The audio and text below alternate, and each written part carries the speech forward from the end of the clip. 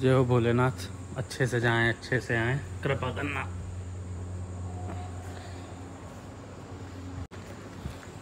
Good morning everyone स्वागत है सभी का। बाइक अपनी ये तैयार है। बस अब निकलना, कोहली की तरफ़ फुर हो जाना तो जी हेलो गुड मॉर्निंग और शोरूम खुल गया भाई। सबसे पहले आया प्रशांत, फिर आया मैं, फिर आया वो।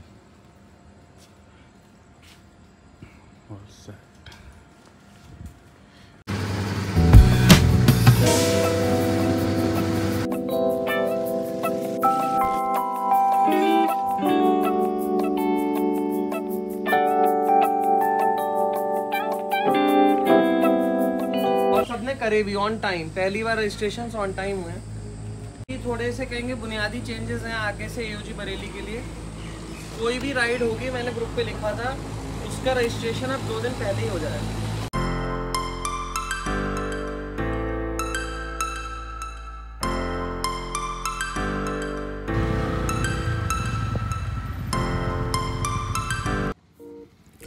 तो जी, हेलो जी, नमस्कार और जय श्री राम। स्वागत है सभी का चैनल के आपके लेटेस्ट वीडियो में। मैं आपका होस्ट स्टार सेक शिवम।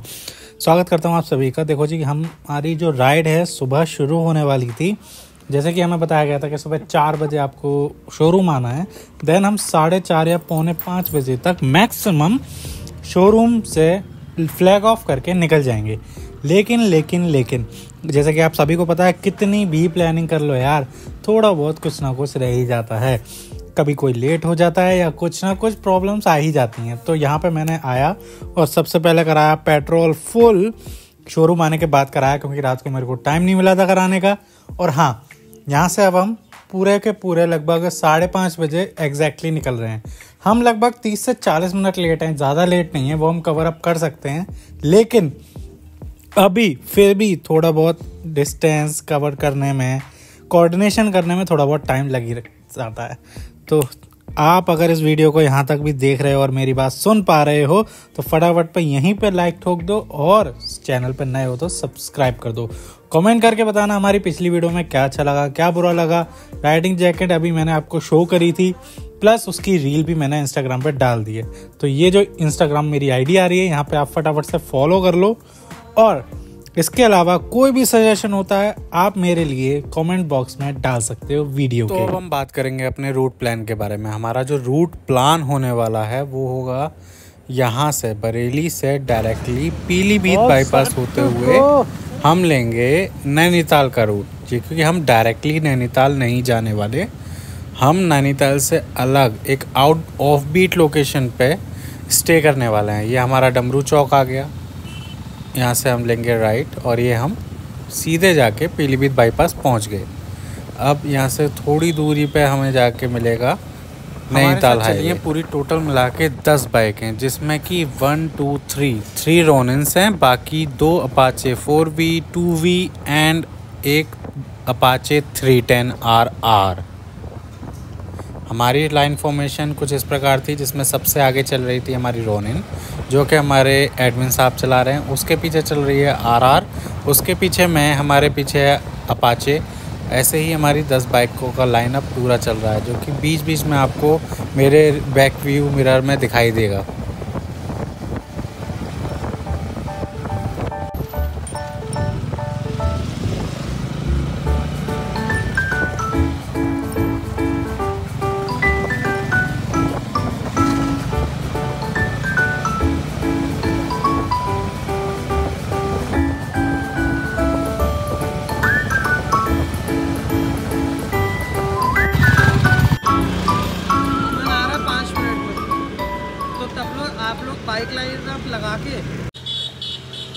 तो भाई पहला ही स्टॉप हो गया अपना, लगभग बाईस तेईस किलोमीटर पे।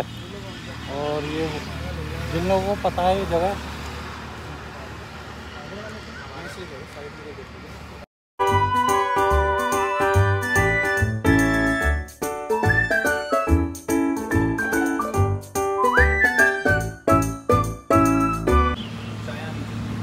और दूसरा उनसे ब्रेकफास्ट का पूछना है, दो चीज़ें और तीसरा कल रात तक दसवा आदमी कंफर्म नहीं हो रहा था तो मैंने कहा था, सुबह बताऊँ। उनसे कहना, दस लोग कंफर्म तो तो ये हमारा पहला ऑफिशियल स्टॉप सिंह ढाबा पे पराठा चाय।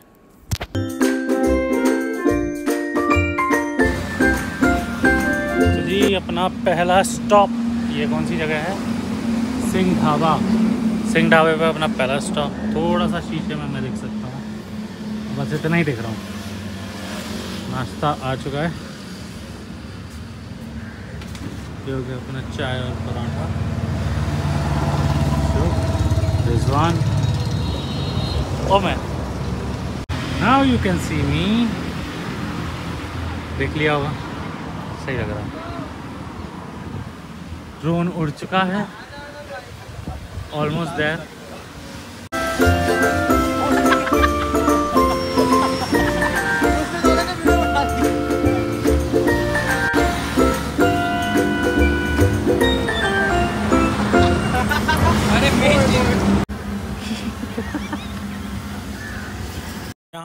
यहाँ थोड़ा सा शूट करने के बाद हमने लेट लपेटा अपना पूरा नाश्ता और ये थोड़ा सा हेलमेट का शूट।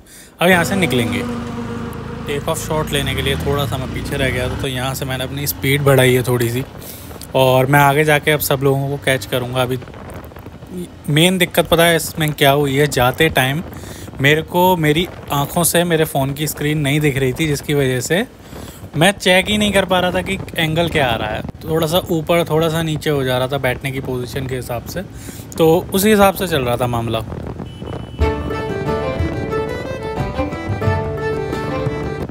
लो जी, ये आ गया पहला टोल। इस टोल का नाम मेरे को पता नहीं है, लेकिन हाँ बाइक का तो टोल लगता नहीं है। तो यहाँ से फटाफट से निकल लो चुपचाप। यहाँ पे भी आगे बढ़ के थोड़ा सा हम हॉल्ट लेंगे अपने को राइडर्स जो हमारे आगे और पीछे हैं, उनको देखेंगे कि वो कहाँ हैं, कितनी दूर रह गए हैं, उसके बाद आगे बढ़ेंगे।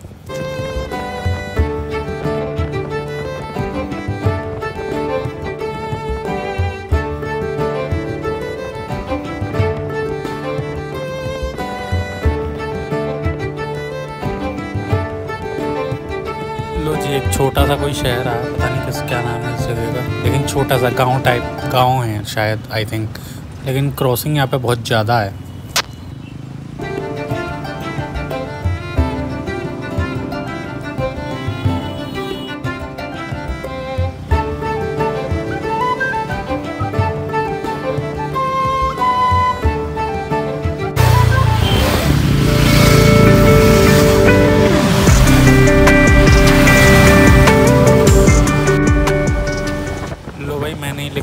सबका एक फ्लाई बाय शॉट ले लिया, ताकि सब लोग कैमरे में आ सकें और सबको दिखा भी सकूँ कि भाई कितने राइडर्स थे।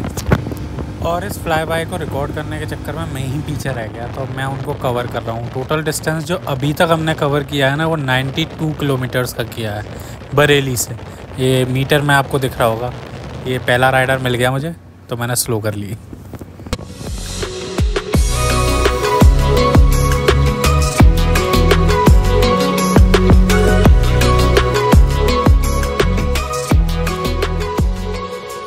बात तो श्योर है, जब आप ग्रुप में राइड पे निकलते हो ना तो बहुत अच्छे अच्छे रिएक्शन मिलते हैं भाई। ये टेंपो में बच्चे मिले थे, इन्होंने हाई किया। लो, हमने इनके हाई हेलो का रिएक्शन नोट किया और सुंदर सा मंदिर मिला हमें और ये जो हाईवे आप लोग देख रहे हो, ये है किच्छा का हाईवे किच्छा किच्छा किच्छा, ऐसा ही नाम है कुछ।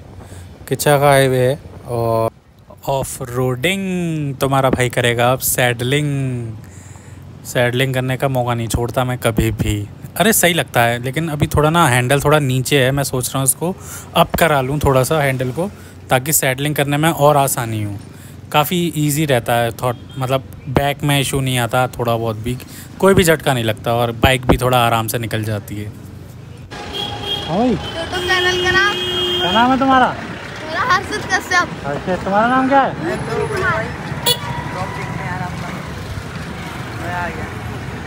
नैनीताल। नैनीताल। हल्द्वानी से हर्षित कश्यप मिले थे भाई, इनको मैंने टॉफ़ियाँ दी। ये मेरे को चैनल नाम वगैरह पूछ रहे थे, मैंने सोचा इनको टॉफ़ी मिलनी चाहिए। ये मेरा चैनल सब्सक्राइब करेंगे आगे जाके, और हाथ पे भी लिख के लेके गए थे, वो मैं शूट नहीं कर पाया। हाथ पे नाम लिख के लेके गए हैं, ये पेन ढूंढ के लाए थे। और और यहाँ चल रहा बहुत ज़्यादा डिस्कशन भाई साहब किसी चीज़ के लिए। शोर बहुत ज़्यादा है, इसलिए इतना ही बता पाऊँगा कि हमारा सेकंड स्टॉप है ये। हल्द्वानी हम पहुँच चुके हैं। हल्द्वानी हम पहुँच चुके हैं और थोड़ा साइड में आके बता रहा हूँ, अभी आवाज़ पता नहीं कैसी आ रही होगी। लेकिन अब यहाँ से हम जो रूट लेने वाले हैं, वो लेने वाले हैं हल्द्वानी के अंदर से, पहले शहर को पूरा क्रॉस किया। उसके बाद एक अलग से रास्ता जाता है, जो है काला डूँगी फॉरेस्ट रोड जो कि नैनीताल भी जाता है और काफ़ी अच्छा रास्ता होने वाला है। आप व्यू को एंजॉय करना आप बस। अब यहाँ तिराहे पे पूछेंगे थोड़ा सा रास्ता। तो भाई साहब बताएँगे हमें लेफ़्ट ये जो भाई साहब खड़े हैं ना कोने पे, ये देखो, हमें लेफ़्ट बताएँगे और हम जाएँगे राइट तो ये सिस्टम मेरे को थोड़ा समझ में नहीं आया। कौन से सिस्टम के हम चले हैं यहाँ से? देखा? हम उन भैया ने बताया लेफ़्ट और हम जा रहे हैं राइट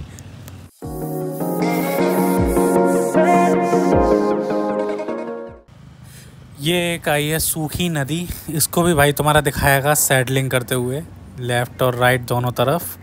यहाँ पे भी कोई पानी वानी नहीं था।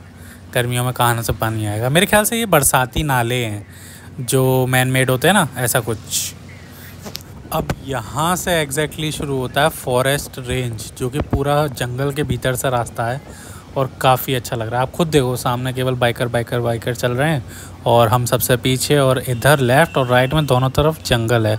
यहाँ इस रास्ते पे रात को अलाउड ही नहीं है जाना। रात को आप छः या सात बजे के बाद बैरियर डाउन हो जाता है, आप यहाँ से नहीं जा सकते टू व्हीलर लेके। फोर व्हीलर में भी अलाउड होता होगा, लेकिन टू व्हीलर के लिए उन्होंने साफ़ मना कर दिया था कि नहीं होता अलाउड आपने जब भी रात की साइट सीइंग वाली देखी होगी ना टाइगर और लेपर्ड वाली वीडियोस वो यहीं की होती है। और यहाँ फॉरेस्ट के अंदर अंदर ही जैसे ही आप थोड़ा सा आगे बढ़ते हो तो यहाँ से आपका पहाड़ स्टार्ट हो जाते हैं। अब हमने चढ़ाई शुरू कर दी है। बाइक लेके आप लीन करते हुए, थोड़ा सा कॉर्नर करते हुए, हम हम पहाड़ पे जाएँगे। अब यहाँ पे हम भी बैग बांधे हुए हैं, इन्होंने भी बैग बांधे हुए हैं, और कुछ ट्रैवलर टेंपो भी जाते हैं तो ये सब लोग नैनीताल जाने वाले हैं। ये तो श्योर है। यहाँ हम थोड़ा सा बचेंगे इससे और फिर से आगे निकलने की कोशिश करेंगे। लेकिन पहले आप देख लेते हैं, जैसे ही कॉर्नर पे आते हैं ना तो आपको दोनों तरफ़ का दिखाई देता है तो आप देख कर ही आगे ओवरटेक करें।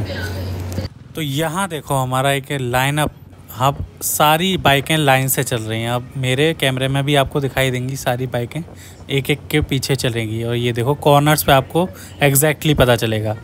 और ये वीडियो ऑलरेडी बहुत ज़्यादा लंबी हो चुकी है तो हम इस वीडियो को यहीं पे समाप्त करेंगे। इसका पार्ट टू निकालेंगे, जो कि आपको नेक्स्ट वीडियो में मिलेगा। ठीक है, यहाँ पे हम कॉर्नरिंग करते हुए पहाड़ चढ़ रहे हैं। इसके आगे का पूरा सीन कहाँ गए हैं, कहाँ स्टे किया है क्या क्या मस्ती हुई है क्या क्या मज़ाक हुआ है, सब आपको देखने को मिलेगा। तो यहीं पे इस वीडियो को ख़त्म करते हैं और मिलते हैं अगली वीडियो में। टिल देन जय श्री राम। वीडियो को यहीं पे लाइक कर देना और चैनल पे नए हो तो सब्सक्राइब कर देना। जय श्री राम सभी को। Bye bye.